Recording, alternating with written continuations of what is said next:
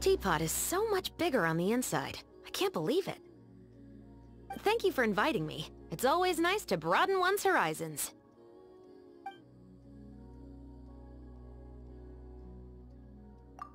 I find it quite splendid. In my line of work, I'm lucky if I get to spend a couple months out of the whole year in such comfortable surroundings. I can certainly think of several examples that fit that description. There was the time we had to dive into icy water during the dead of winter to intercept some smuggling ships. Or when we carried out a search for several days straight with no sleep to apprehend a fugitive. Luckily, the thick soles on our shoes make them extremely durable. Then, of course, there was also the time during the summer when we had to hide ourselves in some bushes along a river while we waited to ambush a suspect. There were a lot of poisonous insects around the river at that time of year, with bites that can be quite deadly. But most insect repellents have a pungent odor that, if used, would have exposed our position. So, all I could do was advise the members of my platoon to keep their skin covered and remain in position until the suspect emerged and began to trade the stolen goods for Mora. In the end, we managed to apprehend the suspect and the goods. But a few members of my platoon passed out from heat stroke and were indisposed for quite some time. Uncomfortable is part of the job, but we're used to it. After all, ensuring peace for the citizens of Fontaine is no small matter. But... the number of guards that have been injured in the line of duty has been increasing lately. I should submit a request to the Maison Gardiennage to increase compensation for injured guards. That's a given. I am the captain, after all. But... the number of guards that have been injured in the line of duty has been increasing lately. Okay. Due to confidentiality restrictions, I can't share any specific case details with you. But I can tell you a story about the Special Security and Surveillance Patrol. Some time ago, we lost one of the members of our platoon. He sacrificed himself while carrying out an important mission. We arranged a funeral service for him and turned his effects over to his family. The only thing we held on to was the cap from his uniform. It's a tradition. If his son decided to join the guards in the future, we would pass the cap down to him. One day, after everything was settled, I saw a group of people gathered outside. I rushed over, thinking there was someone causing a disturbance. It was. The boy grabbed one of my guards by the sleeve and asked, Have you seen my daddy? He couldn't describe his father's appearance beyond the fact that he was big and tall. The boy just kept repeating his father's name over and over again, but there was little we could say in return. We all knew that his father had long been part of covert operations for the Special Patrol, and hadn't been able to return home after the birth of his son. But there was something we didn't know. In order to protect his cover, he hadn't left behind a single picture of himself, even for his family. The boy learned from his mother that his father was an honored guard of the Special Security and Surveillance Patrol. But I would imagine the word honor meant very little to him, and that it was even harder to comprehend that his father was never coming back. In the end, we escorted the boy home, and each member of my platoon left him with a gift. Some gave him a pocket watch, a pen, or a badge. I gave him a copy of my favorite novel. I hope that he can be like the hero in that novel one day, and have the resolve to follow his own path. Whether he makes the choice to don his father's cap, or follow a path that leads him away from the guards. My only wish is that he feels proud of his father all the same. It's rare that I get the chance to relax like this. Also, I've been meaning to ask whether you would be willing to assist me with some missions. With your help, I imagine the perpetrators will practically catch themselves. There's certainly a chance we may need to resort to violence, but the readiness of your answer seems to suggest that you're quite used to that sort of thing. Uh, don't worry, that wasn't an accusation. Sometimes it's the only language people will understand. If anybody, I know that best of all. So, do we have an agreement? For missions that require infiltration and surveillance, I was thinking that this teapot might make good cover. But now I see that entering and exiting are rather complicated. So how about this? I bring the teapot on the mission with you inside as backup. When you hear me tap on the side of the teapot, you jump out, and we take down the perpetrators together. Captain of the Special Security and Surveillance Teapot Patrol does have a certain ring to it. Huh. It's decided then.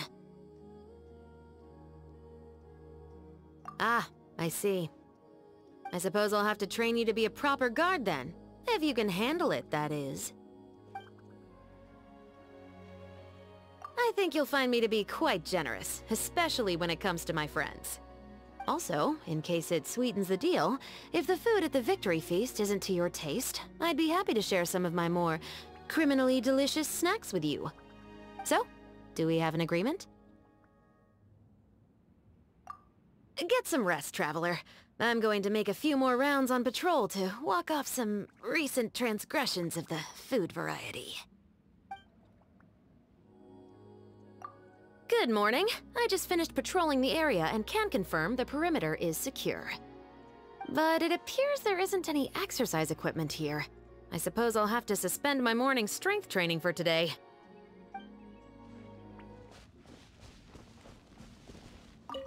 You know, I've sent quite a few people to the Fortress of Meropide.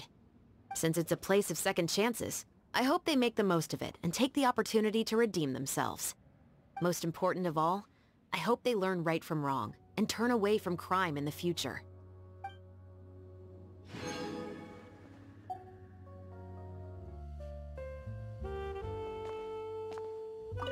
This makes me feel like I'm back in the dorms at the Special Patrol headquarters.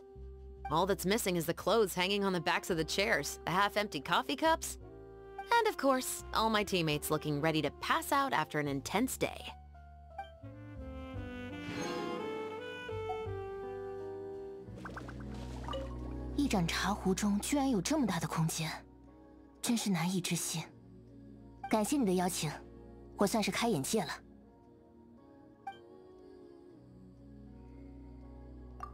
How? 鉴于保密原则，我不能向你分享什么具体的案件详情，但我可以给你讲一件和特巡队有关的故事。当时，我们特巡队刚刚失去一位战友，他是在执行重要任务时牺牲的。我们为他举办了葬礼，并将所有遗物都移交给了他的家属。按照传统，我们将他的帽子保存在队内。如果未来他的孩子来到特巡队，我们会将这顶帽子授予给对方。我将一切都打理好了之后，突然有天看见门口聚集了许多人，我还以为是谁来闹事了，马上去查看情况。正是。他抓着一位队员的袖子说：“请问，你看见我爸爸了吗？”他描述不出他父亲的长相，只知道父亲又高又大。他一遍遍的重复父亲的名字，而队员们都在低头沉默。大家知道，那位战友长期执行隐秘任务，在孩子刚出生的那段时间都没机会回家。但当时我们还不知道，为了保密，他在家里连一张画片都没有留下。孩子从母亲口中得知，自己的父亲是一名荣誉的特巡队队员，但他无法理解什么叫荣誉，更无法理解什么叫再也回不来。最后。我们将孩子送回了他的家，队员们还各自为他留下了一件礼物，有的留下了自己的怀表，有的留下了一支笔，有的留下了一枚徽章。我把我最喜欢的那本小说送给了他，我希望他能像书中的主人公那样，有朝一日以自己的意志做出自己的人生选择，无论是选择继承这顶帽子，或是远离特训队，至少那时。我祝愿他能为他的父亲感到自豪。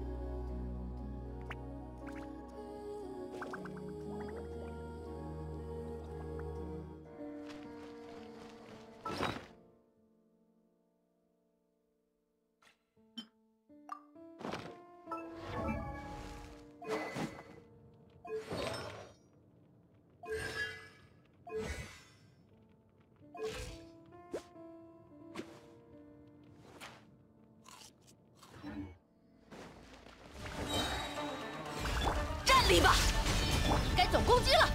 哈！